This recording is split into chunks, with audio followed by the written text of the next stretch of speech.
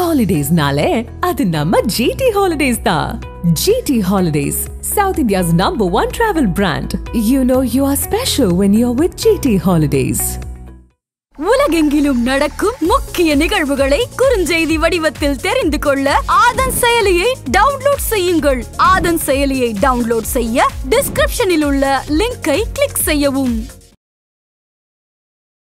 Of லைட்ல ஒரு முப்பது வருஷத்துக்குள்ளன்னு எடுத்துக்கிட்டீங்கன்னா இவர் தான் ஒரு ரெண்டாவது police officer IPS officer Chennai city police கமிஷனர்ல இருந்து முடிச்சதுமே டிஜிபியா போஸ்ட் ஆகுது ஓகே இதுக்கு முன்னாடி யார் வந்தாங்கன்னா லத்திகா சரண் மேடம் வந்து அதே மாதிரி ஆனாங்க. இப்போ டிஜி ஆறவங்க நிறைய பேர் கமிஷனராக இருந்தது இல்லை ஸோ கமிஷனராக இருந்தவங்க நிறைய பேர் டிஜி ஆனதில்லை. நிறைய பேர் நிறைய சிட்டியில் ஒர்க் பண்ணியிருப்பாங்க. கமிஷனர் திருப்பூர் கமிஷனர் கோயம்புத்தூர் கமிஷனர்லாம் ஒர்க் பண்ணியிருப்பாங்க. திருச்சி கமிஷனர் இருப்பாங்க ஆனால் சென்னை கமிஷனராக ஒர்க் பண்ணியிருக்க மாட்டாங்க. ஏன்னா சென்னை கமிஷனருக்குன்னு ஒரு பெரிய ஒரு கவர்டர் போஸ்ட்டு அதுக்கு பயங்கரமான சில ரெஸ்பெக்ட் இருக்குது வீரப்பன் தேடல் வெளியெல்லாம் முடிஞ்சிருச்சு. அதுக்கப்புறம் எதுக்கு சார் எஸ்டிஎஃப் இப்போ வரைக்கும் ஆக்டிவா இருக்காங்களா என்ன? நிறைய ஆக்டிவா இருக்கு? அது தெரியாது உங்களுக்கு? எஸ்டிஎஃப் எவ்வளவு வேலை பண்ணிக்கிட்டு இருக்குன்னா நீங்க அங்க வந்து இப்போ ஒரு யூனிட் இருக்கிறதுனால தான் சந்தன கடத்தலாம் பண்ணாம இருக்காங்க. எல்லாம் மொத்த சந்தனத்தையும் கடத்திட்டு போயிடுவாங்க. அவர் சென்னை சிட்டி கமிஷனராக தொடர்ந்து இப்போ ரெண்டு இருபத்தாறு மாதங்கள் இருந்திருக்கார். ஸோ இந்த இவரோட சர்வீஸ் டென்யூர்லன்னு பார்த்தீங்கன்னா இப்போ கொஞ்சம் வித்தியாசமாக நிறைய யங் ஆஃபீஸர்லாம் ட்ரெயின் பண்ணுவார். இப்போ எக்ஸாம்பிளுக்கு இன்னொரு இவர்கிட்ட கொஞ்சம் வித்தியாசமான விஷயம் நான் பார்த்தது வரைக்கும் பார்த்தீங்கன்னா அவர் செங்கல் ஜிவால் சார்ட்ட எந்த எல்லா விஷயத்தையும் இவர் தோல்ல வச்சுக்க மாட்டார். இவர் வந்து சூப்பர்வைஸ் பண்ணுவார். ஓகே ஆனா எல்லாத்தையும் நான் தான் கையெழுத்து போடுவேன் நான் தான் எல்லாம் பண்ணுவேன் அப்படி சொல்லவே மாட்டார். ஒரு நல்ல அட்மினிஸ்ட்ரேட்டர் அவர் என்ன பண்ணுவாருன்னா இத காரணத்தினால தான் இப்போ சங்கர் ஜிவால் சார் வந்த பிறகு அப்போ இதுக்குன்னு நம்மளுக்குன்னு ஒரு ட்ரோன் யூனிட் இருந்தா நம்ம ஏன் இன்னொருத்தரை டிபெண்ட் பண்ண வேண்டாம்ல? ஓகே நமக்கு எப்ப தேவையோ யூஸ் பண்ணிக்கலாம். ஒரு விஐபி மூவ்மெண்ட்னா யூஸ் பண்ணிக்கலாம். அப்புறம் அதே மாதிரி பாத்தீங்கன்னா இப்போ ஜென்ரலா இந்த ட்ரோன் யூனிட்டே என்ன பண்ணாங்கன்னா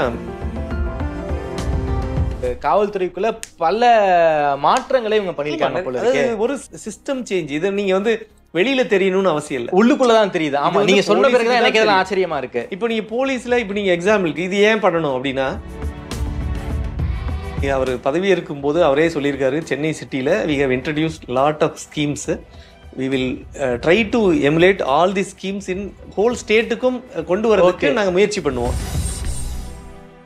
ஆதன் தமிழியர்களுக்கு அன்பு வணக்கம். இன்று நம்மோடு மூத்த பத்திரிகையாளர் திருமிகு கிரைம் செல்வராஜ் அவர்கள் உள்ளார் வணக்கம் சார். வணக்கம். தமிழகத்தின் டிஜிபியாக திருமிகு சங்கர் ஜிவால் ஐபிஎஸ் அவர்கள் பொறுப்பேற்றுள்ளார். ஒரு லேமன் கொஸ்டின் அவங்க கிட்ட கேக்குறேங்க சார். இந்த டிஜிபினா யாரு? இந்த டிஜிபிக்கு என்னென்ன அதிகாரங்கள் உண்டு? அதை பத்தி கொஞ்சம் டீட்டெயிலாக சொல்லுங்க சார் கண்டிப்பா டிஜிபின்றவங்க டைரக்டர் ஜெனரல் ஆஃப் போலீஸ் அவங்க தான் வந்து இப்போ அதுவும் சங்கர் ஜிவால் அவர்களுக்கு கொடுக்கப்பட்ட பதவின்றது ஹெட் ஆஃப் போலீஸ் ஃபோர்ஸ் அப்படின்னா அந்த ஸ்டேட்ல நிறைய போலீஸ் இருக்கலாம். அதாவது நிறைய போலீஸ்னா நிறைய டிஜிபிஸ் இருக்கலாம். ஆனால் ஒரு டிஜிபி தான் வந்து லாண்ட் ஆர்டர் டிஜிபின்னு சொல்லுவாங்க. ஸோ அந்த லாண்ட் ஆர்டரை யார் ஹோல்ட் பண்ணியிருக்காங்களோ அவங்க தான் ஹெட் ஆஃப் த போலீஸ் ஃபோர்ஸ்னு சொல்லணும் சொல்லுவாங்க. அப்படி சொல்லும்போது தமிழ்நாட்டு முழுக்க இருக்கக்கூடிய மொத்த இப்போ ஆயிரத்தி ஒரு லட்சத்தி இருபதாயிரம் போலீஸ் இருக்காங்க அப்படின்னா டோட்டலாக அவங்க எல்லாத்துக்கும் ஒரே ஹெட் வந்து அவங்க. ஸோ இந்த அந்த ஹெட்டாக இருக்கக்கூடியவங்க தான் அவங்களோட வெல்ஃபேர் பார்ப்பாங்க அவங்களோட சர்வீஸ் பர்டிகுலர்ஸு அவங்களோட க்ரீவன்சஸ்ஸு அப்புறம் அவங்களுக்கு இருக்கக்கூடிய அவங்க யாராவது தப்பு பண்ணாங்கன்னா அவங்க மேலே நடவடிக்கை எடுக்கிறது. இந்த மாதிரி எல்லா அந்த துறை அந்த துறையில் இருக்கக்கூடிய அந்த ஒர்க் பண்ணிட்டு இருக்கக்கூடிய எல்லாருக்கும் என்னென்ன பிரச்சனைகள் இருக்கோ எல்லா பிரச்சனைகளுக்கும் சால்வ் பண்ணக்கூடிய ஒரே பர்சன் வந்து அவராக தான் இருப்பார். ஸோ அவர் நினைச்ச அவங்களுக்கு கீழே வந்து ஒவ்வொரு டிபார்ட்மெண்ட் வைஸ் தனித்தனியாக இருக்கும். இப்போ எக்ஸாம்பிளுக்கு ஹெட் குவார்ட்டர்னு ஒரு ஏடிஜிபி இருப்பாங்க. அட்மினிஸ்ட்ரேஷன் ஒரு ஏடிஜிபி இருப்பாங்க. ஸோ இப்போ அட்மினிஸ்ட்ரேஷன் அவங்களுக்கு வந்து நிர்வாக ரீதியான சில விளக்கங்கள் மற்ற விஷயங்களை பற்றி அவங்க கொடுப்பாங்க. ஹெட் குவார்ட்டரில் இருக்கவங்களுக்கு இப்போ நீங்கள் முக்கியமாக ட்ரான்ஸ்ஃபர் வேணும் இல்லை வேற ஏதாவது அவங்களோட க்ரீவன்ஸை வந்து ரிசால்வ் பண்ணணும். இல்லை முக்கியமாக இப்போ ஒய்ஃப் உடம்பு சரியில்லை நான் அந்த ஊருக்கு ட்ரான்ஸ்ஃபர் வேணும்னு கேட்குறாங்களோ இல்லை இந்த மாதிரி ஒரு சில ரொட்டீன் சில ப்ராசஸ் இருக்கும். இதெல்லாம் வந்து ஹெட் குவார்டர்ஸ் ஹெட் குவார்ட்டர்ஸாக அவங்க பார்த்துப்பாங்க. இப்படி வேரியஸ் யூனிட் இருக்கு. அதுக்கப்புறம் அந்த போலீஸ் அவங்க குடியிருப்பு வாரியம் அதுக்கெல்லாம் தனி சார்? தனி டிஜிபி இருக்காங்க. அது வந்து இப்போ ஏ கே விஸ்வநாதன் அவர்கள் வந்து அந்த தமிழ்நாடு வீடு வீட்டு வசதி கழக வாரியத்தோட தலைவரா இருக்காரு. அதே மாதிரி இப்போ ஃபயர் சர்வீஸ்ல ஹெட்டா இருக்கவங்க அதே மாதிரி தமிழ்நாடு யூனிஃபார்ம்டு சர்வீசஸ் ரெக்ரூட்மெண்ட் போர்டுன்னு சொல்லி ஒன்று இருக்கு. அதாவது அவங்க தான் வந்து போலீஸ் போலீஸ்மேன் வேலைக்கெல்லாம் ஆள் எடுப்பாங்க. சீருடை பணியாளர் வாரியம். சீருடை பணியாளர் வாரியம்னு சொல்லி அவங்க தான் செலெக்ஷன் பண்ணுவாங்க அந்த போலீஸ்காரங்க செலெக்ஷன் பண்றக்கூடிய அந்த யூனிட் அவங்களோட ஹெட்டா இருக்கவங்க சீமா அகர்வால் இருக்காங்க. ஓகே. இந்த மாதிரி வேரியஸ் யூனிட் இருக்கு. அதே போல வந்து இந்த ஹோம் கார்டு அவங்களுக்கும் தனி டிஜிபியா சார் ஆமா ஹோம் கார்டு கீழ்பாக் இருக்கு. அதுல வந்து டிஜிபி தான் இருக்கணும்னு அவசியம் இல்லை. ADGP rank additional director general of police ரேங்க்ல இருக்கக்கூடியவங்களும் ஹெட் பண்ணுவாங்க. ஓகே ஒருவேளை அவங்களே வந்து ப்ரொமோட் ஆயிட்டாங்க அப்படின்னா அங்கேயே கூட ப்ரொமோட் பண்ணி அங்கேயே சர்வ் பண்ணுவாங்க அப்படின்னா. ஓகே சார் ஸோ இதுதான் வந்து அந்த இதோட டோட்டல் ப்ராசஸ்ன்னு பார்த்தீங்கன்னா ஆரம்பம் கீழே இருந்து எடுத்தீங்கன்னா கான்ஸ்டபிள் ரேங்க் ஃபர்ஸ்ட் அப்புறம் கிரேட் ஒன்னு அப்புறம் கிரேட் டூ அப்படின்றதான் ஏட்டையான்னு சொல்லுவாங்க. மூணு கோடு போட்டு வச்சிருப்பாங்க கா ஷோல்டர்ல இருக்கும். அப்புறம் sub inspector special sub inspector சொல்லுவாங்க. அவங்க இருபது வருஷமா ஹெட் கான்ஸ்டபிளா இருந்தீங்கன்னா உங்களுக்கு நீங்களே eligible to become sub inspector. எஸ்எஸ்ஐன்னு சொல்லுவாங்க. அதான் ஸ்பெஷல் சப் இன்ஸ்பெக்டர் நீங்க ரெகுலர் சப் இன்ஸ்பெக்டர் ஆகணும்னா நீங்க அதுக்கு ஒரு ஒரு டெஸ்ட் ஒன்று பாஸ் பண்ணணும். அதாவது அந்த எஸ்ஐ போஸ்ட்டுக்கு வரதுக்கு முன்னாடி ஹெட் கான்ஸ்டபிள்ஸ்க்குலாம் ஒரு ட்ரைனிங் கொடுப்பாங்க. ட்ரைனிங் முடிச்ச பிறகு ஒரு டெஸ்ட் வைப்பாங்க. டெஸ்ட்ல அவங்க என்ன இது பண்றாங்களோ எவ்வளவு ஸ்கோர் எடுக்கிறாங்களோ அதை பேஸ் பண்ணி அவங்களுக்கு அது டிபார்ட்மெண்ட் எக்ஸாம் மாதிரி அது. டிபார்ட்மெண்ட்ஸ் மாதிரி இருக்கும். அப்படி இருந்தா அவங்களுக்கு அந்த ப்ரொமோஷன்லாம் வரும். ஓகே அதுக்கப்புறம் அவங்களுக்கு மேல சப் இன்ஸ்பெக்டர் அப்புறம் இன்ஸ்பெக்டர் அப்புறம் அசிஸ்டன்ட் கமிஷனர் இல்லைன்னா deputy commissioner of police deputy superintendent of போலீஸ்னு சொல்லலாம் டிஎஸ்பி ஸோ அசிஸ்டன்ட் கமிஷனர் சிட்டியில் சொல்றதும் ரூரல் எல்லாம் வந்து டிஎஸ்பின்னு சொல்லுவாங்க. அதுக்கு மேல இருக்கவங்க தான் SP rank officer superintendent police அது சிட்டியில் இருக்கிறதுக்கு டிசிபின்னு சொல்லுவாங்க. Deputy. Commissioner of police deputy commissioner of police அப்படியே சூப்பரண்ட் போலீஸ் தான் டிசிபி ரெண்டும் ஈக்குவல் ரேங்க் தான். ஓகே ஸோ நீங்க ஐஏஎஸ் ஐபிஎஸ் பாஸ் பண்ணி அந்த யூபிஎஸ்சி பாஸ் பண்ணி வரும்போது நீங்க உங்களுக்கு ஐபிஎஸ் கேடர் கிடைக்குதுன்னா எஸ்பியா தான் வருவீங்க. ஃபர்ஸ்ட் ஸ்டார்டிங்ல ஏஎஸ்பின்னு போஸ்டிங் போடுவாங்க. அந்த ஏஎஸ்பி ட்ரைனிங் முடிச்சுட்டு அப்புறம் எஸ்பிக்கு வருவாங்க. அதுக்கப்புறம் ஏஎஸ்பி அந்த எஸ்பில இருந்து DIG deputy inspector general of police அதுக்கப்புறம் இன்ஸ்பெக்டர் ஜெனரல் ஆஃப் போலீஸ் அப்புறமா additional director general of police அப்புறமா DGP director general of police okay so ஒரு இது வந்து ஒரு பிரமிட் மாதிரி இருக்கும். கீழே தான் ஃபுல்லாக அந்த கான்ஸ்டபிள்ஸ்லாம் இருப்பாங்க. அதுக்கு மேலே ஒரு லேயர் அதுக்கு மேலே லேயர் அப்படியே வரும்போது டாப்ல ஹெட்ல இருக்கவங்க அவங்க தான் head of the police. DGP டிஜிபினா DGP நிறைய பேர் இருப்பாங்க. அதுல லாண்ட் ஒரு ஒருத்தர் தான். இருப்பாங்க. அவங்க தான் மத்தவங்க எல்லாத்தையும் கண்ட்ரோல் பண்ணுவாங்க. ஓகே சார் எனக்கு ஒரு சின்ன ஒரு சந்தேகம் தான். சட்ட ஒழுங்கு டிஜிபியாக திருமிகு சங்கர் சிவால் இருக்காங்க. அந்த காவலர் குடியிருப்பு வாரியத்துக்கு ஒரு டிஜிபி இருப்பாங்க. அதே போல காவலர் தேர்வு வாரியத்துக்கு ஒரு டிஜிபி இருப்பாங்க. இந்த டிஜிபி எல்லாத்தையும் இவங்க சட்ட ஒழுங்கு டிஜிபி கண்ட்ரோல் பண்ண முடியுமா? இல்ல இல்ல பண்ணலாம். இப்ப ஜென்ரலா அதுக்காக தான் என்ன பண்ணுவாங்கன்னா சீனியாரிட்டி வைஸ் அங்க போஸ்ட் பண்ணுவாங்க. Head of the police post வந்து எப்பயுமே சீனியாரிட்டில கொடுப்பாங்க. ஓகே லாண்ட் ஆர்டர் ஆமா. அப்படி கொடுக்கும்போது என்ன ஆகுன்னா அவங்க இப்போ இதுல போலீஸை பொறுத்த வரைக்கும் ஒரு விஷயம் நீங்க பத்து பேர் டிஜியா இருந்தாலும் பத்து டிஜிபிஸ் இருந்தாலும் அதுல யார் வந்து சீனியாரிட்டி இருக்காங்களோ அவங்களுக்கு மத்தவங்க சல்யூட் பண்ணுவாங்க. ஜென்ரலா ஓகே. அது வந்து இப்ப நீங்க அதுக்காக வந்து இன்னொருத்தர் லோவர் போஸ்ட்ல இருக்காரு அவர் தான் சீனியாரிட்டியில பெரிய ஆளு அப்படின்னாலும் அவர் வரும்போது மத்தவங்க எல்லாம் எழுந்துன்னு விஷ் பண்ணுவாங்க. அதெல்லாம் வந்து அது ஒரு புரோட்டோகாலா வச்சுப்பாங்க. ஓகே அதாவது சீனியாரிட்டிக்கு அங்க Seniority-க்கு மரியாதை. உண்டு. ஆமா. அது மாதிரி இருக்கும்போது இப்போ ரேங்க் படி பாத்தீங்கன்னா பி கே ரவி சார் தான் சீனியர் ஓகே எயிட்டி நைன் பேட்சுங்களா அவர் eighty nine batch so eighty seven பேட்ச்ல இவர் இப்போ சைலேந்திர பாபு சார் இருக்காரு. அதுக்கப்புறம் எயிட்டி நைன் பேட்ச்ல தான் இப்போ இவர் இருக்காரு. BK ரவி ரவி சார் இருக்காங்க. ஸோ அதனால இப்போ ஒருவேளை ஒரு மீட்டிங்கு ஒரு ஃபங்க்ஷன் போகும்போது as a head of the police ஃபோர்ஸா இவர் அவரை சல்யூட் பண்ணுவாரு. அதே மாதிரி அவரும் இவரை சல்யூட் பண்ணுவாரு. ஏன்னா அவர் சீனியர் அப்படிங்கறதுனால ஓகே ஓகே ஸோ அந்த மாதிரி ஒரு ஒரு மியூச்சுவல் இது இருக்கும். ஓகே அந்த போஸ்டிங்க்கும் மரியாதை பிளஸ் சீனியாரிட்டிக்கும் மரியாதை Seniority-க்கு கொடுப்பாங்க. மரியாதை கண்டிப்பா இருக்கும். அதே மாதிரி பாத்தீங்கன்னா இப்போ நீங்க இன்னைக்கு பாசிங் அவுட் பரேட் நடந்தது. முழுக்க எல்லாத்துலயுமே என்ன பண்ணுவாங்கன்னா அந்த பாசிங் அவுட் பரேட்டுக்கு ரிட்டையர்டு ஆஃபீஸர்ஸ் எல்லாம் வருவாங்க. எல்லாரையுமே உரிய மரியாதை கொடுப்பாங்க. ஏன்னா அவங்க எல்லாம் வந்து மற்றவங்களோட நல்ல சீனியர் மோஸ்ட் அப்படிங்கிறதுனால அவங்களுக்கு உண்ட மரியாதை எல்லாமே கரெக்டாக நடந்துட்டே இருக்கும் பண்ணிட்டு இருப்பாங்க. இப்போ இந்த டிஜிபின்ற இந்த போஸ்ட் எப்படி வ- எப்படி இது பண்ணாங்க? அதாவது அதில் யாரை போஸ்ட் பண்ணுவாங்க அப்படின்றது எல்லாமே தெரிஞ்சது தான் அரசியல் ரீதியாக அரசியல் யாருக்கு ஆட்சியாளர்களுக்கு யாருக்கு வேண்டியவங்களோ அவங்கள தான் போஸ்ட் பண்ணுவாங்க. இது ரொம்ப காலமாக இருக்குது ஸோ அப்படி இருக்கும்போது இதில் வந்து குறிப்பாக அவர் சங்கர் ஜிவால் அவர்கள் வந்து அந்த போஸ்ட்டுக்கு ஏற்கனவே இது ரெண்டாவது முறை ஒருத்தர் வந்து பார்த்தீங்கன்னா இப்போ ஆஃப் லைட்டில் ஒரு முப்பது வருஷத்துக்குள்ளேன்னு எடுத்துக்கிட்டிங்கன்னா இவர் தான் ஒரு ரெண்டாவது police officer IPS officer Chennai city police கமிஷனர்ல இருந்து முடிச்சதுமே டிஜிபியா போஸ்ட் ஆறது ஓகே. இதுக்கு முன்னாடி யார் வந்தாங்கன்னா லத்திகா சரண் மேடம் வந்து அதே மாதிரி ஆனாங்க. ஓகே. அவங்களும் கமிஷனர் ஆஃப் போலீஸா இருந்தாங்க. சென்னை கமிஷனர் போலீஸ் அங்க வேலை பார்த்துட்டு முடிச்சு அதை சர்வீஸ் முடியவுமே டிஜிபி ஆயிட்டாங்க. Okay. So DGP law and ஆர்டரா head of police போஸ்டா இருந்தாங்க. ஓகே. ஸோ அந்த மாதிரி கிடைக்கிறது ரொம்ப ரேர் அதாவது ஒண்ணு நீங்க டாப் பொசிஷன் வரும்போது நீங்க கமிஷனரா இருப்பீங்க. இல்லைன்னா டிஜி ஆவீங்க. ஸோ டிஜி ஆறவங்க நிறைய பேர் கமிஷனராக இருந்ததில்ல. ஸோ கமிஷனராக இருந்தவங்க நிறைய பேர் டிஜி ஆனதில்லை. டிஜினா நான் சொல் மீன் பண்ணுறது டிஜி லாண்ட் ஆர்டர் ஓகே அதை போனதில்லை ரீச் பண்ணதில்லை.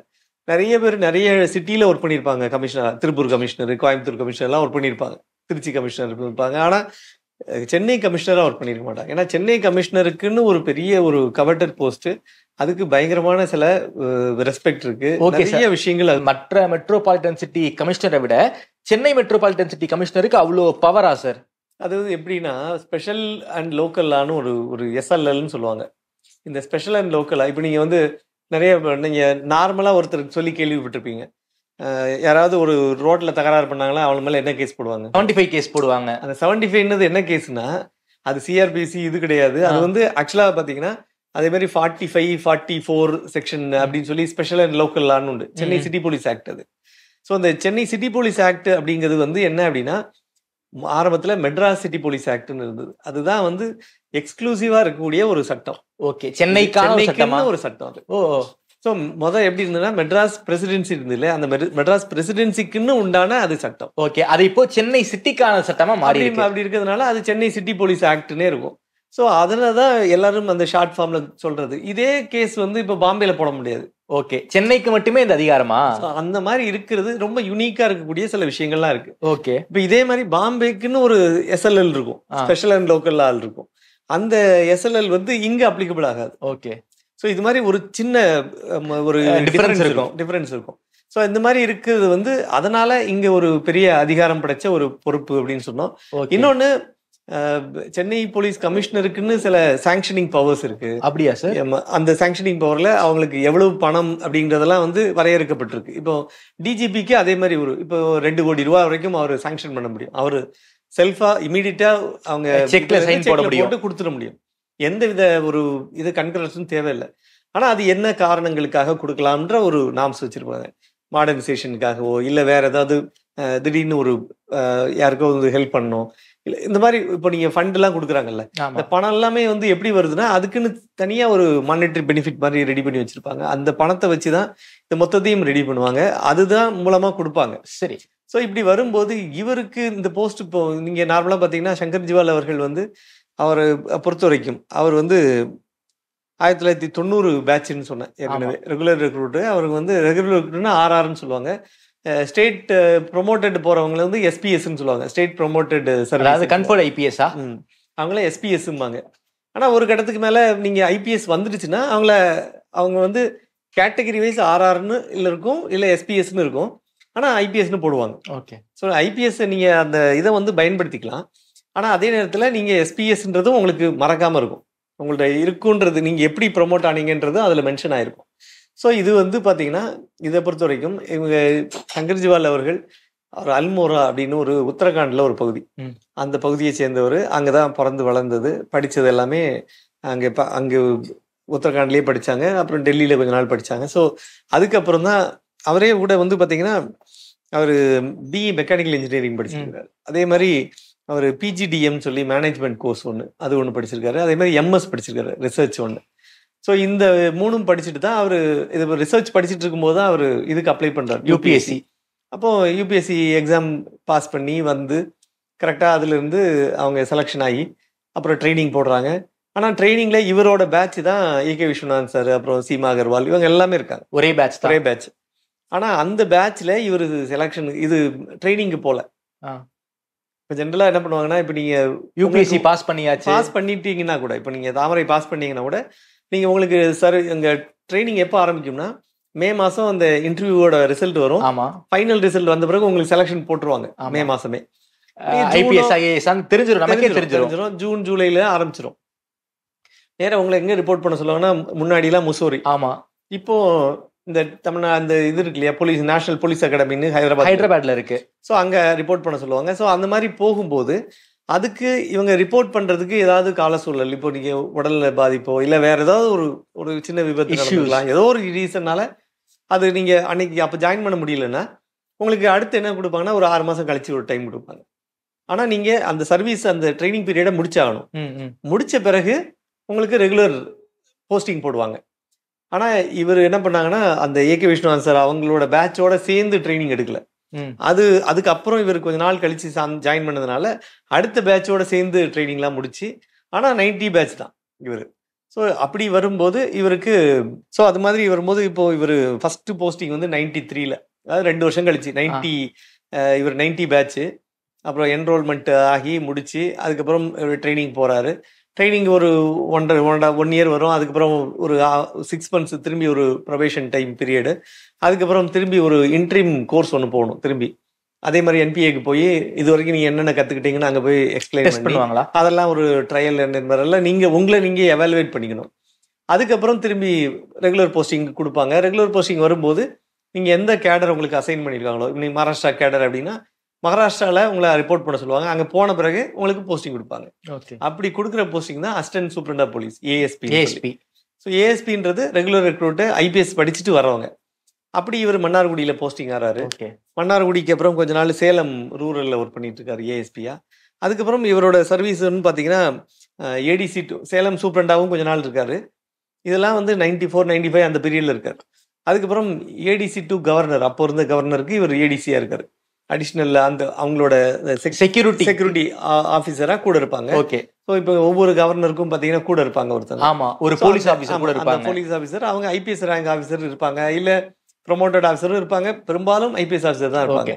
ஸோ அப்படி அங்க கொஞ்ச நாள் ஒர்க் பண்ணியிருக்காரு. அதுக்கப்புறம் அதே மாதிரி நைன்டி செவன் வாக்கில் தான் டிசி லா அண்ட் ஆர்டரா மதுரையில் ஒர்க் பண்ணாரு. ஓகே ஸோ அதே மாதிரி அப்புறம் வந்து அதுக்கப்புறமே இவருக்கு பார்த்தீங்கன்னா பெரும்பாலும் ரொம்ப பயங்கரமான கீ பொசிஷன் கிடைக்கல.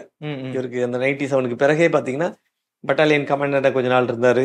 அதே மாதிரி அது வந்து டிஎஸ்பி பட்டாலியன் வந்து சிக்ஸ்த் பட்டாலியன் அது. அதில் ஒர்க் பண்ணியிருக்காரு. அப்புறம் அதே மாதிரி மதுரை சூப்பரண்டா போலீஸாக ஒர்க் பண்ணி எஸ்பியாக ஒர்க் பண்ணியிருக்காரு. அப்புறமே பார்த்தீங்கன்னா ஒரு ரெண்டாயிரம் வருஷத்துலேயே வந்து அப்போ திராவிட முன்னேற்ற கழகம் ஆட்சி இருக்கும் போதே இவர் சென்ட்ரல் டெப்டேஷன் வாங்கிட்டு சென்ட்ரலில் போயிட்டு நேஷனல் அந்த நர்கட்டிக்ஸ் கண்ட்ரோல் பியூரோன்னு என்சிபின்னு சொல்லுவாங்க. ஆமா. அதில் போய் ஜாயின் பண்ணிடுறாரு. அதில் எஸ்பியா வேலை பார்க்குறாரு. எஸ்பியா சர்வீஸ் பண்ணிகிட்டே இருக்கும்போதே ரெண்டாயிரத்தி நாலு வரைக்கும் இருக்காரு. திரும்பி அதுலேயே ப்ரொமோஷன் வருது.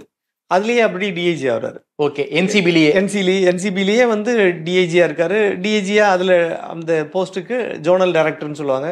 அதுலயே ஒர்க் பண்ணிட்டு இருக்காரு. திரும்பி அதுல இருந்துட்டு ரெண்டு வருஷம் ஒர்க் பண்றாரு. அதுக்கப்புறம் திரும்பி டெப்டேஷன் முடிச்சு தமிழ்நாட்டுக்கு ஓகே டெப்டேஷன்னா அவங்களே போவாங்களா சார் வில்லிங்னஸ் கொடுக்கணும். ஓகே அப்புறம் உங்களுக்கு ஒரு டெஸ்ட் மாதிரி வைப்பாங்க. அந்த எலிஜிபிலிட்டிக்குள்ள நீங்க வரீங்களான்னு பார்ப்பாங்க. நீங்க எந்த வேற ஏதாவது தப்பு பண்ணல வேற பிரச்சனைகள் இல்ல அப்படின்னு தெரிஞ்சுன்னா உங்களை என்ரோல் பண்ணிப்பாங்க ஓகே ஓகே இது சென்ட்ரல் கவர்மெண்ட்டோட போஸ்டிங் அது. ஸோ அதுக்கப்புறம் பார்த்தீங்கன்னா திரும்பி வந்து திருச்சி சிட்டியில் வர போஸ்டிங் பண்ணாங்க டிஏஜியாவே. அப்போ இருக்கும்போது அப்போ டிஏஜிங்கிறவங்க தான் கமிஷனர் இப்போதான் ஐஜி ரேங்க் ஆஃபீஸர் சத்யபிரியா அவங்க கமிஷனராக இருக்காங்க. அந்த டைம்லாம் வந்து டிஐஜி ரேங்க் ஆஃபீஸரே கமிஷனர்னு அழைப்பாங்க ஏன்னா வந்து இவர் ஜேகே திரிபாதிலாம் டிஐஜி தான். அப்போ அவர் கமிஷனராக இருந்தார். அப்போ நான் சொல்றது நைன்டி டூ தௌசண்ட் த்ரீ அந்த பீரியட்லலாம் சொல்கிறேன் அதுக்கப்புறமே வந்து அங்கே திருச்சி சிட்டி கமிஷனராக இருந்தவர் திருப்பி சென்னைக்கு போஸ்டிங் போட்டு சென்னையில் ஹெட் குவார்ட்டரில் இன்டெலிஜென்ஸ் விங்கில் போட்டாங்க ஓகே ஐஜியா இருந்தாரு. டிஐஜியா இருந்தாரு. டிஐஜியா இருந்த பிறகு திரும்பி அப்படியே ஐஜி ஆனாரு. ப்ரொமோஷன் வந்தது. உளவுத்துறையிலேயே. ஆமா உளவுத்துறையில வரும்போது ஐஜி இன்டர்னல் செக்யூரிட்டியா போஸ்டிங் போட்டாங்க. இப்போ ஈஸ்வர் மிஸ் சார் இருந்தார். அந்த. போஸ்ட்டுக்கு இவரை போட்டாங்க. அதுல ஒர்க் பண்ணாரு. ஐஜியா அதுல ஒர்க் பண்ணிட்டு இருக்கும்போது அதுக்கப்புறமே அவருக்கு வந்து ரெகுலர் இன்டெலிஜென்ஸ் ஹெட்டா போட்டாங்க. இப்போ வந்து அமரேஷ் புஜாரி சார் அப்புறம் இவங்க ஜாஃபர் சேட்லாம் இருந்தாங்க இல்லையா? சிவநாட்டி சார் அந்த போஸ்டிங்க்கு ஐஜி ரேங்க் ஆஃபீஸர் இப்போ செந்தில்வேலன் இருக்காரு ஐஜி ம். இன்டெலிஜென்ஸ் சொல்லி. அந்த போஸ்டிங்ல இருந்தாரு கொஞ்ச நாள். அதுக்கப்புறமே ரெண்டாயிரத்தி பதினொன்னுக்கு பிறகு ரெண்டாயிரத்தி பதினொன்னுக்கு பிறகுனா ரெண்டாயிரத்தி பதினொன்னுல தான் அண்ணா திராவிட முன்னேற்ற கழகம் ஆட்சி ஆட்சிக்கு. வராங்க. ஆட்சிக்கு வந்த பிறகு இவரை தூக்கி ஸ்பெஷல் டாஸ்க் ஃபோர்ஸ்னு எஸ்டிஎஃப் சத்தியமங்கலம் அங்க தூக்கி போட்டாங்க. ஓகே. அங்கதான் அவரோட சர்வீஸ் அதுக்கப்புறம் பெரும்பாலான சர்வீஸ்னு பாத்தீங்கன்னா அங்கதான் ஏடிஜிபியாவும் ஐஜியா எஸ்டிஎஃப்ல இருந்தாரு. சந்தேகம் சார். வீரப்பன் தேடல் வேலையெல்லாம் முடிஞ்சிருச்சு. அதுக்கப்புறம் எதுக்கு சார் எஸ்டிஎஃப் இப்போ வரைக்கும் ஆக்டிவா இருக்காங்களா நிறைய ஆக்டிவா இருக்கு? அது தெரியாதா உங்களுக்கு? ஏங்க எஸ்டிஎஃப் எவ்வளவு வேலை பண்ணிக்கிட்டு இருக்குன்னா நீங்க அங்க வந்து இப்போ ஒரு யூனிட் இருக்கிறதுனால தான் சந்தன கடத்தலாம் பண்ணாம இருக்காங்க. எல்லாம் மொத்த சந்தன மரத்தையும் கடத்திட்டு போயிடுவாங்க. ஓகே. ஸோ இவங்களோட வேலையே வந்து சந்தன மர கடத்தலை தடுக்கிறது அந்த வேலை. அடுத்தது என்ன பண்ணாங்கன்னா இவங்களுக்கு டைம் லெஷரா இருக்குல்ல. இப்போ நீங்க வீரப்பனை தேட வேண்டாம் இப்போ. அப்படி இருக்கிறதுனால என்ன பண்றாங்கன்னா இவங்களே நக்சல் ஆபரேஷனுக்கு போவாங்க உள்ளுக்குள்ள. ஓகே. அந்த ஒரு ட்ரை ஜங்ஷன் சொல்லுவாங்க. கேரளா கர்நாடகா தமிழ்நாடு பார்டர் இந்த பக்கம் தமிழ்நாடு இந்த பக்கம் கேரளா அந்த பக்கம் கர்நாடகா. ஸோ இந்த ட்ரை ஜங்ஷன் சொல்லுவாங்க. அதில் நிறைய பேர் ஆப்ரேட் பண்ணுவாங்க. நிறைய நக்சல்ஸ் இருப்பாங்க. அப்படின்றது தான் அவங்கள போய் தேடி கண்டுபிடிச்சி அவங்கள அரெஸ்ட் பண்ணுறதோ அவங்கள சரண்டர் பண்ண வைக்கிறதோ இது மாதிரி பண்ணுவாங்க. ஸோ இந்த மாதிரி வேலைகள் பண்ணிக்கிட்டு இது இல்லாமல் இந்த காட்டு பகுதியில் இருக்கிற ஒரு ட்ரைனிங் சென்டர் ஒரு ப்ராப்பர் ட்ரைனிங் சென்டராக இருக்கக்கூடியது சத்தியமங்கலம் எஸ்டிஎஃப் ஓகே இப்போ நீங்கள் எக்ஸாம்பிளுக்கு நீங்கள் காட்டுக்குள்ளே நீங்கள் சர்வே பண்ணணும்னா என்னெல்லாம் பண்ணணும்? அப்படின்னு உங்களுக்கு தெரியணும்ல. தெரியாமலே நீங்கள் ஒரு போலீஸாக இருந்தீங்கன்னா என்ன பண்ண முடியும்? காட்டுக்குள்ள போக முடியாது. இதுக்குன்னு போய் கற்றுக்க முடியாதுல்ல. அதுக்காகவே என்ன பண்ணுவாங்கன்னா இங்கே ஒரு ட்ரைனிங் சென்டர் இருக்கு. ஓகே. இதுக்கு இந்தியால இருந்து எல்லா ஸ்டேட்ல இருந்தும் இந்த ட்ரைனிங் சென்டருக்கு ஒரு ஒரு பேட்ச் அனுப்புவாங்க. ஓகே. அங்க வந்து ட்ரைனிங் எடுத்துட்டு போறாங்க. சரி அந்த ட்ரைனிங் டிபார்ட்மெண்ட்டுக்கு ஹெட்டா இருந்திருக்காங்களா சங்கரிவால் சார்? அதுதான் அந்த வேலையை தான் எஸ்டிஎஃப் பண்ணிக்கிட்டு இருந்தது. ஓகே. அதாவது இவர் வீரப்பன் தேடுதல் வேட்டை முடிந்து ரெண்டாயிரத்தி நாலுல அவர் சுட்டுக் கொல்லப்பட்ட பிறகு அதுக்கப்புறம் அப்ப வீரப்பன் தான் இல்லையா அப்ப இதை க்ளோஸ் பண்ணணும்ல அப்படின்னா அப்படி கிடையாது. எஸ்டிஎஃப்ன்ற ஒரு யூனிட் தொடர்ந்து அது ரன் ரன் பண்ணிக்கிட்டு தான் இருக்காங்க. ஆமா அதுல ஒரு டீம் இருக்காங்க. இது மாதிரி வெளியில இருந்து நிறைய பேர் வந்து கூட அவங்களுக்கு ட்ரைனிங்லாம் கொடுக்க அவங்களுக்கும் ட்ரைனிங் கொடுக்காங்க அந்த ஜோனுக்கு சார் சங்கரிவால் சார் இருந்தாரு. ஐஜி எஸ்டிஎஃப் இருந்தாரு. திரும்பி ப்ரொமோஷன் ஆகி ஏடிஜிபி ஆனாரு. ஏடிஜிபி எஸ்டிஎஃப் இருந்தாரு திரும்பி. ஓகே ஸோ அதுலயே இருந்தாரு. அதுக்கப்புறம் தான் அவருக்கு வந்து திரும்பி ஆவின்ல ஹெட் ஆஃப் போட்டாங்க. போஸ்டிங் பண்ணாங்க. விஜிலன்ஸ் விஜிலன்ஸ் சீஃப் விஜிலன்ஸ் ஆஃபீஸர்னு சொல்லி சிவிஓன்னு சொல்லுவாங்க. அந்த போஸ்ட்ல அவரை அவர் போஸ்ட் பண்ணாங்க. அதுக்கப்புறம் அங்க கொஞ்ச நாள் இருந்துட்டு திரும்பி அங்கிருந்து ஆர்ம்டு போலீஸுக்கு வந்தார். கீழ்பாக்கில் இருக்கக்கூடிய ஆர்ம்டு போலீஸ்னு சொல்லி இந்த அங்க வந்து ஆர்ம்டு போலீஸோட ஹெட் குவார்ட்டர் இருக்கு ஹெட் குவார்ட்டர்ல ஏடிஜிபியா ஒர்க் பண்ணாரு. அங்கே ஒர்க் பண்ணிட்டு இருக்கும்போது தான் ரெண்டாயிரத்தி இருபத்தொன்னு எலெக்ஷன் ரிசல்ட் வந்தது. ரிசல்ட்டில் இவங்க டிஎம்கே ஆட்சிக்கு வந்தாங்க அப்படின்னோடனே இமிடியேட்டா இவருக்கு இந்த பதவி கமிஷனர் ஆஃப் போலீஸ் அப்படின்னு சென்னை சிட்டிக்கு போஸ்ட் கொடுத்தாங்க. அவர் சென்னை சிட்டி கமிஷனராக தொடர்ந்து இப்போ ரெண்டு இருபத்தாறு மாதங்கள் இருந்திருக்கார். ஸோ இந்த இவரோட சர்வீஸ் டென்யூர்லன்னு பார்த்தீங்கன்னா இப்போ கொஞ்சம் வித்தியாசமாக இவர் வந்து நிறைய யங் ஆஃபீஸர்லாம் ட்ரெயின் பண்ணுவார். இப்போ எக்ஸாம்பிளுக்கு ஒரு டைரக்ட் ரெக்ரூட் பேட்ச் இருக்காங்க குரூப் ஒன் ஆஃபீஸர்ஸ் அந்த குரூப் ஒன் ஆஃபீஸர்ஸ் எல்லாம் கூப்பிட்டு அவங்க இந்த இந்த மாசம் என்னென்ன பண்ணீங்க? அப்படின்னு அவங்கள வந்து பிபிடி எக்ஸ்பிளைன் பண்ணணும் ஓகே.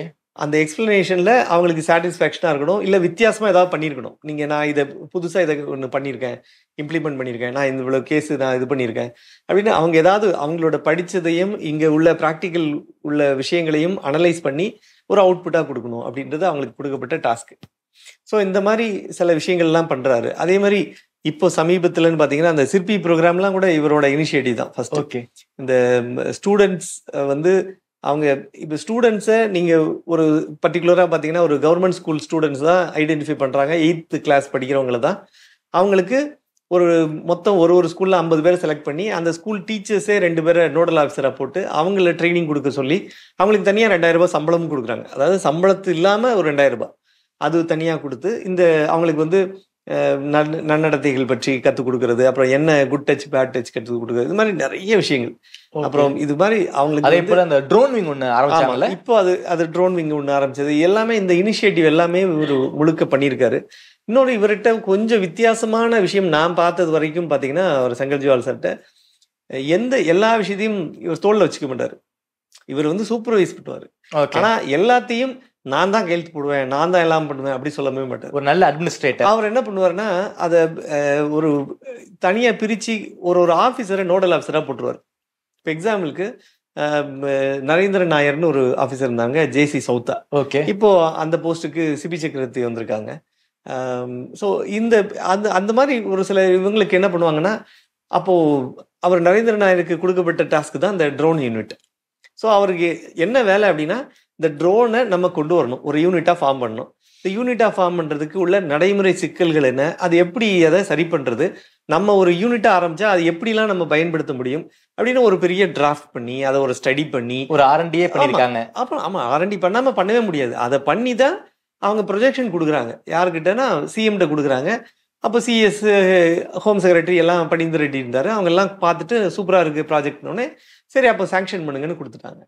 அப்படிதான் மூணு மூணு கோடி அறுபது லட்சம் ரூபாய் சாங்ஷன் பண்ணி drone unit-க்கா? யூனிட் ஆரம்பிக்கப்பட்டது ஆனா இது எல்லாமே ரெண்டாயிரத்தி இருபத்தொன்னுலயே ஸ்டார்ட் பண்ண வேலை ஓகே ஆனா அதுக்கு டாஸ்க் இப்போ நீங்க வந்து தக்ஷான்னு ஒரு இவங்க செந்தில்குமார்னு ஒருத்தவங்க இருக்காங்க. இவங்க இவரு நம்ம அண்ணா யூனிவர்சிட்டியில உள்ள ஒரு ஏரோஸ்பேஸ் அதுல வந்து ஒர்க். பண்ணிக்கிட்டு இருக்கக்கூடிய அதுல அஜித் எல்லாம் கூட கூட ஒரு? மெம்பரா இருக்காரு அஜித் மட்டும் இல்ல நீங்க அஜித் தான் நம்ம பேசுறோம் அவரு நம்ம இவர் அப்துல் கலாம் ஐயாவுக்கெல்லாம் நல்லா நேர்லயே வந்து பார்த்துருக்காரு. அந்த அளவுக்கு அவர் வந்து அந்த ஏரோஸ்பேஸ்ல நிறைய விஷயங்கள் பண்ணிக்கிட்டு இருக்காரு. அவங்களுக்கு அவங்களோட டீமே இருக்காங்க நிறைய டீம் இருக்காங்க. ஆமா. ஸோ இப்போ இவங்க ஒரு சிலருக்கு அவங்களோட ஹெல்ப்பை கேட்குறதும் இல்லை வெளியில ப்ரைவேட்டாக ஆர்டர் பண்ணணும்னா என்னென்ன ஸ்பெசிஃபிகேஷன் வேணும்னு சொல்லணும்.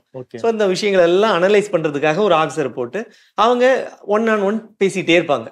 என்ன ரெடி ஆயிடுச்சா? நீங்கள் ட்ரை பண்ணலாமா? இப்போ எக்ஸாம்பிளுக்கு ட்ரோன் யூனிட்னு நீங்கள் சொன்னதுனால சொல்கிறேன் இப்போ ட்ரோன் யூனிட்டுக்கே பார்த்தீங்கன்னா ஒரு இருபது போலீஸ் பர்சனலுக்கு ட்ரைனிங் கொடுத்து வச்சிருக்காங்க. ஆமா. அவங்களுக்கு தனியாக அந்த ஆப்ரேட் பண்ணுறதுக்கு டிஜிசிஏவோட பெர்மிஷன் வேணும். இப்போ நீங்கள் வந்து director general of civil aviation சொல்லக்கூடிய அவங்கள்ட்ட இருந்து பர்மிஷன் இருந்தால் தான் நீங்கள் ட்ரோன்லாம் ஆப்ரேட் பண்ண முடியும். அந்த பர்மிஷன் இவங்களுக்கு கொடுத்துருக்காங்க. அது எப்படின்னா இதுக்கு ஒரு பெரிய ஒரு ட்ரைனிங் போய் அவங்களுக்கு சர்டிஃபிகேட் கோர்ஸ் பண்ணி கோர்ஸில் அவங்க எக்ஸாம் வச்சு பாஸ் பண்ணி அவங்களுக்கு சர்டிஃபை பண்ண பிறகு இதை பண்ணுறாங்க ஸோ இதை எப்படி ஆப்ரேட் பண்ணும்? அப்படின்ற ஒரு விஷயம். அப்புறம் நீங்கள் நார்மல் ட்ரோன்லலாம் மைக் இருக்காது. ஆமா. நீங்கள் வந்து இங்கேருந்து ஸ்பீக்கரில் பேசு நீங்கள் இங்கேருந்து பேசுகிறீங்க அந்த மைக் அது மூலமாக ஒரு ஸ்பீக்கர் மூலமாக வெளியில் வந்து உங்களுக்கு வெளியில் போகாது. கொரோனா டைமில் நிறைய நீங்கள் கூட பார்த்துருப்பீங்க. ட்ரோனை வச்சு நிறைய இது பண்ணாங்க. ஆமா. அது என்ன பண்ணாங்கன்னா அங்கங்க ஒளிஞ்சுக்கிட்டு கிரிக்கெட் விளையாண்டது அப்புறம் அந்த ஏன்னா வெளியில இருக்கக்கூடாதுன்னு. சொன்ன பிறகும் நிறைய பேர் ஏதாவது முள்ளு காட்டுக்குள்ள போய் உட்கார்ந்துருக்குது இந்த மாதிரி வேலைகள்லாம் பண்ணிக்கிட்டு இருந்தாங்க. அப்போ இந்த ட்ரோன் நிறைய யூஸ்ஃபுல்லா இருந்தது. இன்னொன்னு பாத்தீங்கன்னா ஏற்கனவே இந்த தக்ஷான்னு சொல்லக்கூடிய இந்த அண்ணா யூனிவர்சிட்டியை டீம் பண்ணும்போது மொத்தம் அவங்க ஒரு ரெண்டு மூணு ட்ரோன் வச்சிருந்தாங்க. இந்த ட்ரோன் மூலமா அதுல வந்து மைக் எது அதாவது ஸ்பீக்கர் கிடையாது. ஆனா இது கேமரா மட்டும் இருக்கும். அது மூலமா என்ன பண்ணாங்கன்னா இங்கே க்ரௌட் மேனேஜ்மெண்ட் நிறைய பண்ணாங்க. அப்போது பார்த்தீங்கன்னா அவர் டிஜிபி ராமானுஜ் சார் இருக்கும்போது அப்போ தேவர் குரு பூஜை நடந்தது. அப்புறம் ஒரு அவர் இமானுவல் சேகரன் குரு பூஜை இந்த மாதிரி நிகழ்ச்சிக்கு அப்புறம் காணும் பொங்கல் நடந்தப்போ இந்த மாதிரி டைம்லலாம் கூட இந்த ட்ரோன் எல்லாம் யூஸ் பண்ணாங்க. அப்போது ஜார்ஜ் கமிஷனராக இருந்தாங்க. அப்புறம் டி கே ராஜேந்திரன் சார் இருந்தார். ஏ கே விஸ்வநாதன் சார் இருக்கும்போதும் இந்த ட்ரோன்லாம் பயன்படுத்தினாங்க. ஆனால் என்ன பண்ணுவாங்கன்னா இந்த அண்ணா யூனிவர்சிட்டி டீமை வர வச்சு ட்ரோனை பறக்க வைப்பாங்க. அப்போ அந்த ட்ரோன் மூலமா ட்ரோன் பறக்குதுன்னா நீங்க கொஞ்சம் பிஹேவ் பண்ணுவீங்களே நார்மலா அஹ் தப்பு பண்ண மாட்டீங்க. அதே மாதிரி அந்த கொரோனா டைம்ல நிறைய பேர் அடிச்சு புரண்டு ஓடி போனதெல்லாம் பார்த்தோம்.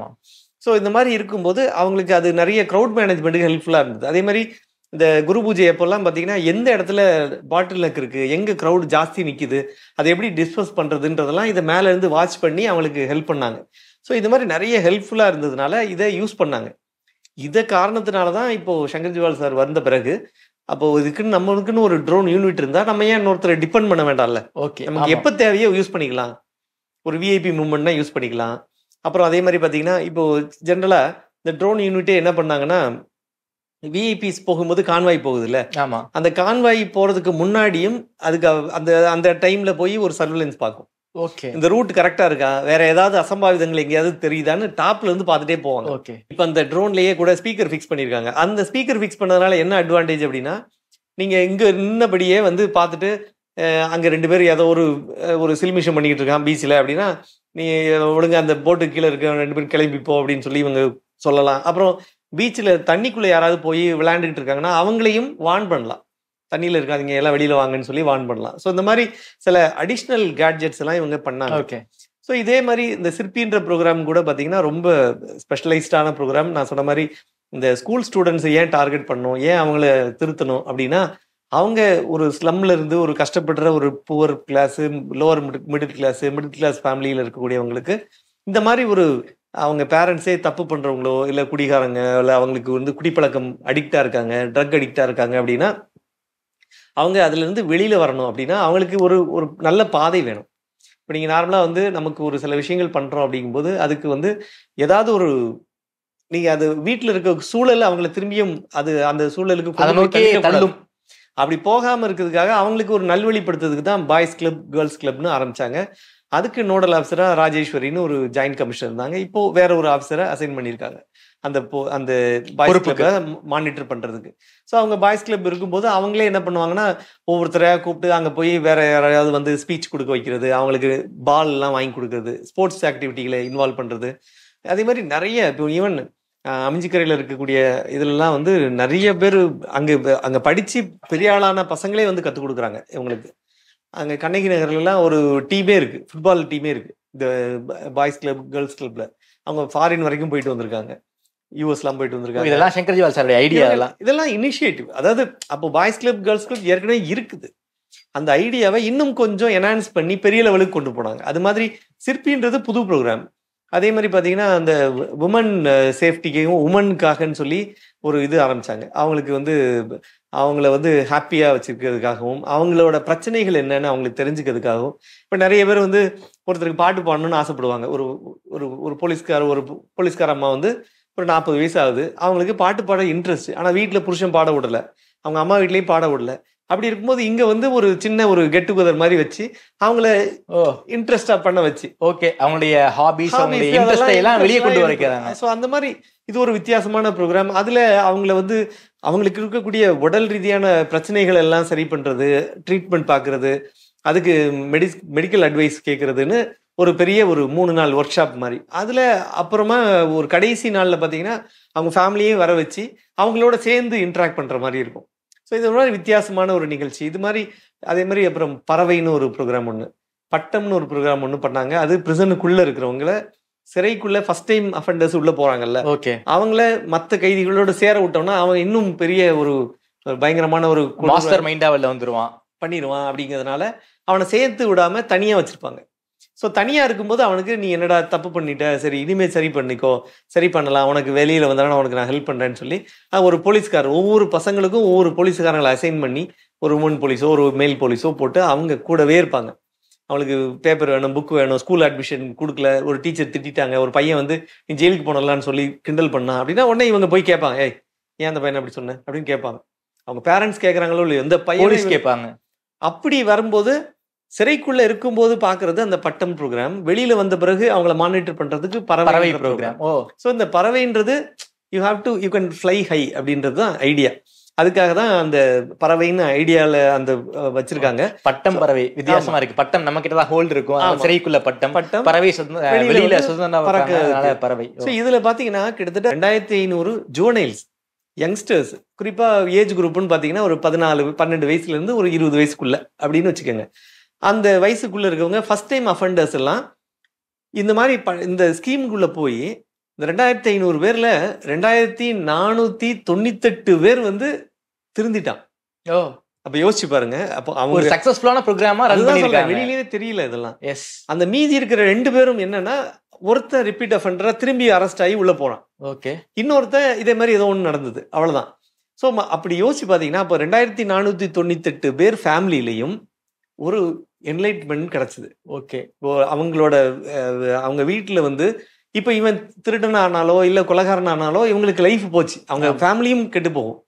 அந்த சூழல் இல்லாம மாறுச்சு அப்படின்றது எவ்வளவு பெரிய விஷயம்? ஓகே இதுவும் சங்கரிவால் சாருடைய ஐடியா தான். ஒரு ஸ்ட்ராட்டஜி ஆ இது மாதிரி எல்லாம் விஷயம். அப்புறம் டிரைவ் அகேன்ஸ்ட் ட்ரக்ஸ்ன்னு சொல்லுவாங்க. அது வந்து டேடுன்னு ஒரு ப்ரோக்ராம் ஓகே அது ட்ரக் அகெயின்ஸ்ட் ப்ரோக்ராம் வந்து நிறைய நடந்தது. ஜார்ஜ் சார் பீரியட்ல நடந்தது. அப்புறம் பார்த்தீங்கன்னா ஏகே விஷார் பீரியட்ல நடந்தது. எல்லாம் நடந்தது. ஆனாலும் அதுக்கு இன்னும் கொஞ்சம் கலர் கொடுத்தாங்க. மகேஷ் குமார் அவர் சார் இருந்தாங்க. அவங்க பண்ணும்போதும் பண்ணாங்க. அவர் இருக்கும்போது தான் மால்கானான்னு ஒரு ஒரு ஸ்கீம் ஆர்கனைஸ் பண்ணி அதாவது இந்த சிசிபியில் சொத்து என்னென்ன டாக்குமெண்ட்ஸ் இருக்கும் இப்போ நீங்கள் வந்து ஒரு கேஸ் ஹேண்டில் பண்ணிட்டு இருப்பீங்க. அந்த கேஸில் ஒரு ஒரு ஒரு பத்து பொருளை சீஸ் பண்ணி வச்சிருப்பீங்க. இதை எங்கே வைப்பீங்க? சீஸ் பண்ண பொருளை ஏதாவது ஒரு இடத்துல வைக்கணும்ல. ஆமா. உங்க ட்ராலே போட்டு வச்சிருப்பீங்க. அது என்ன ஆகும்? அது ஒரு ப்ராப்பரா மெயின்டைன் ஆகாது. ஏதாவது பிரச்சனையில கெட்டு போயிடும். இல்ல ஏதோ ஒன்று ஆயிடும்.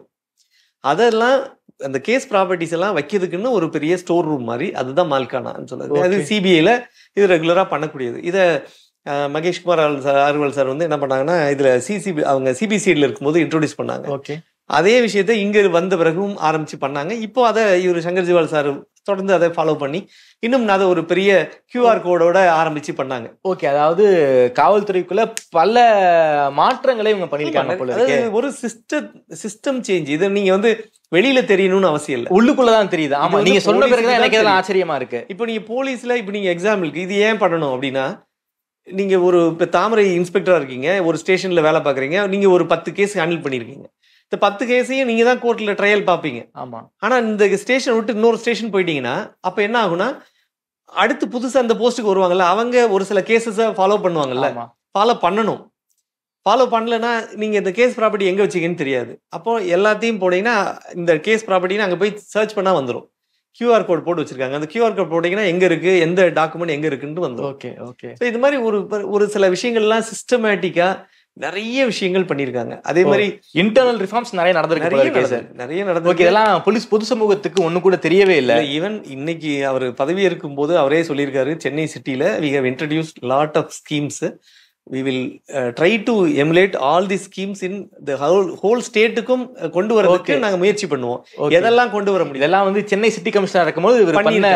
சம்பவம் பண்ணியிருக்காங்க. இதே வந்து ஏன் ஸ்டேட் வைடு பண்ணலாமே அப்படின்னு இப்ப வந்து பறவை பட்டம் ப்ரோக்ராம்லாம் state all wide over Tamil Nadu பண்ண முடியும். இருக்கு ஆல்ரெடி. அதுல சிற்பி ப்ரோக்ராம் இல்ல. எஸ் இந்த ஸ்டூடெண்ட்ஸ் ப்ரோக்ராம் இதெல்லாம் வந்து ஒரு பையன் கூட பாத்தீங்கன்னா கடல் இங்க அந்த பசங்களுக்கு என்ன பண்ணுவாங்கன்னா அந்த ஒவ்வொரு ஒரு- புதன்கிழமைன்னு வச்சுக்கோங்களேன். இந்த புதன்கிழமை அந்த ஒரு ஒன் ஹவர் ப்ரோக்ராமுக்கு அப்புறம் அவங்களுக்கு ஒரு ஃபுட்டு கொடுப்பாங்க. நியூட்ரிஷியஸ் ஃபுட்டு கொடுப்பாங்க. ஃப்ரூட் கொடுப்பாங்க. அதுல ஒரு சில பசங்கள்லாம் வந்து அவங்களோட ரியாக்ஷன் என்ன அப்படின்னு கொடுக்கும்போது நான் இது வரைக்கும் இந்த இந்த ஃப்ரூட்டை நான் சாப்பிட்டதே இல்லை. ஓகே இந்த இப்போ எக்ஸாம்பிளுக்கு அவங்க இந்த ஸ்ட்ராபெரி கொடுக்குறாங்க அப்படின்னா ஸ்ட்ராபெரி நான் ஸ்ட்ராபெரி ஒன்னே ஒன்று கொஞ்சோண்டு சாப்பிட்ருக்கேன் நீங்க ஒரு ஃபுல் பாக்ஸ் ஃபுல்லா ஸ்ட்ராபெரி கொடுத்தீங்க. இதான் ஃபர்ஸ்ட் டைம் சாப்பிட்டேன் அப்படின்னு அந்த பொண்ணு சொல்லியிருக்கு. அதே மாதிரி ஒரு பையன் வந்து கடலூர்ல இருக்கிற பையன் இங்க மட்டும் ஏன் இவ்வளவு கொடுக்குறாங்க? நான் வந்து சென்னையில உள்ள கவர்மெண்ட் ஸ்கூல்ல படிக்கிறேன்னா அந்த பையன் அங்கிருந்து இங்க பா அவங்க பாட்டி வீட்ல இருந்து இங்க வந்து படிக்கிறேன்னு இங்க உட்காந்து படிக்க வந்தான். அப்பதான் எனக்கு என்ரோல் பண்ண முடியும். எனக்கு நிறைய நல்ல ஃபுட்டு கிடைக்கும். அதே மாதிரி பசங்களே கூட ஏன் அந்த ஐம்பது பேர் தானே படிக்கிறாங்க? இப்போ நீங்க ரெண்டாயிரம் பேர் படிக்கிற ஸ்கூல்ல அந்த ஐம்பது பேருக்கு மட்டும் ஏன் கொடுக்குறீங்க? எல்லாருக்கும் கொடுங்க. அப்படின்னு பசங்களே ரொம்ப ஆதங்கப்பட்ட பசங்களும் இருக்காங்க. ஓகே ஸோ அவங்க செலக்டிவா கொடுக்கறதுக்கு காரணம் அதே மாதிரி இன்னொரு கண்டக்டர் ஒருத்தர் ஒரு வாட்டி சொல்லிட்டு இருந்தாரு. பஸ்ல வந்து நார்மலா பசங்க எப்படி கிண்டல் பண்ணிக்கிட்டு ஜாலியா போவாங்கல்ல? அதே பசங்க அந்த சிற்பி யூனிஃபார்ம் போட்டு போகும்போது சைலண்டா போயிருக்காங்க. என்னடா இன்னைக்கு சைலண்டா போற அப்படின்னா இல்ல இன்னைக்கு இந்த மாதிரி நான் வந்து என்ன யூனிஃபார்ம்லாம் போட்டிருக்கேன்னொடனே நான் அந்த மாதிரி சிற்பி இதுல ஸ்கீம்ல சேர்ந்திருக்கேன் அப்படின்னு அவனே சொல்லியிருக்கான். ஸோ அப்படி இருக்கும்போது அந்த கண்டக்டரே கூட அவரு அவரோட ரியாக்ஷன் சொல்லியிருந்தார். அப்போ இந்த மாதிரி so they are behaving well அப்போ அந்த யூனிஃபார்ம் போட்ட உடனே அவங்களுக்கு ஒரு ஒரு ஐடியா. டிசிப்ளின் வந்துருச்சு. நம்ம தப்பு பண்ணக்கூடாது நம்ம இந்த மாதிரி பண்ணக்கூடாதுன்னு அவங்களுக்கே தெரியுது அப்படின்ற விஷயங்கள்லாம் சொன்னாங்க. ஸோ இது மாதிரி நிறைய விஷயங்கள். பின்னாடி வந்து இதுக்குள்ள இருக்கக்கூடிய நிறைய விஷயங்கள் எல்லாம் வந்து பண்ணியிருக்காங்க. அதுல சில விஷயங்களை தான் இப்போ நான் சொல்லியிருக்கேன். ஆமா. இது மாதிரி வெல்ஃபேர் ஸ்கீம்ஸ் நிறைய இருக்கு. இந்த மாதிரி சில வெல்ஃபேர் ஸ்கீம்ஸ் எல்லாம் நம்ம எதெல்லாம் ஸ்டேட் வைடு இம்ப்ளிமெண்ட் பண்ண முடியுமோ அதெல்லாம் ஸ்டேட் வைடு இம்ப்ளிமெண்ட் பண்றதுக்கான முயற்சியில ஈடுபடுவோம் அப்படின்னும் அவர் சொல்லியிருக்காரு. இப்போ இன்னைக்கு பேட்டியில. அதனால வந்து நிறைய ஸ்கீம்ஸ் விரைவில் எல்லாருக்கும் கிடைக்கிறதுக்கான வாய்ப்பு அமையும் நினைக்கிறோம். அதே மாதிரி இந்த ட்ரோன் யூனிட் ஏன்னா இப்போ நீங்க என்ன பண்ணலாம் இப்போ இனிஷியல் ஸ்டேஜுக்கு இப்போ சென்னை சிட்டியில் இருக்கிற மாதிரி அடுத்து என்ன பண்ண வாய்ப்பு இருக்குன்னா ட்ரோன் யூனிட்டே வந்து கோயம்புத்தூருக்கு திருச்சி திருச்சிக்கு மதுரைக்கு பண்ணலாம். அடுத்து என்ன பண்ணுவாங்கன்னா ஜோன் ஹெட்டுக்கு கொண்டு போவாங்க. இப்போ திருச்சி இப்போ சவுத் ஜோனுக்கு ஒன்று இருக்கும். ஆமா. அப்புறம் நா- நார்த் ஜோன்ல ஒன்று வெஸ்ட்டுக்கு ஒருத்தவங்க வெஸ்ட்டுக்கு ஒன்று அப்புறம் சென்ட்ரல் ஜோனுக்கு ஒன்று வச்சிருக்காங்கன்னா ஏதாவது எமர்ஜென்சி இப்போ சென்ட்ரல் ஜோன்ல வச்சிருந்தாங்கன்னா இப்போ நீங்க அங்கேயே வந்து கரூர்ல ஒரு திருவிழான்னா அங்க கொண்டு போகலாம் இல்ல திருச்சியில வந்து ஒரு பெரிய ஒரு நிகழ்ச்சி ஒரு பொதுக்கூட்டம் நடக்குது. அப்போ விஐபி ப்ரோக்ராம் அதை பார்க்கணும்னா அதை கொண்டு போகலாம் சவுத்துக்கும் இருந்து கொண்டு போலாம். கொண்டு போகலாம் அப்படி நிறைய விஷயங்கள் கொண்டு போகலாம் ஏன்னா வந்து ஒவ்வொரு இடத்துலயும் ஒவ்வொரு நிகழ்வு நடக்கும். ஆமா. அந்த நிகழ்வுக்கு அவங்க அதை பயன்படுத்திக்கிறதுக்கு நீங்க ஒவ்வொரு தடவையும் சென்னையில இருந்து கூட்டு போக வேண்டாம். ஸோ அதுக்காக சில முயற்சிகள் இதெல்லாம் வந்து வரதுக்கு வாய்ப்பு இருக்கு. அதுக்கான முயற்சிகள் பட் இதுக்கெல்லாம் வந்து டைம் இதெல்லாமே இருக்கு.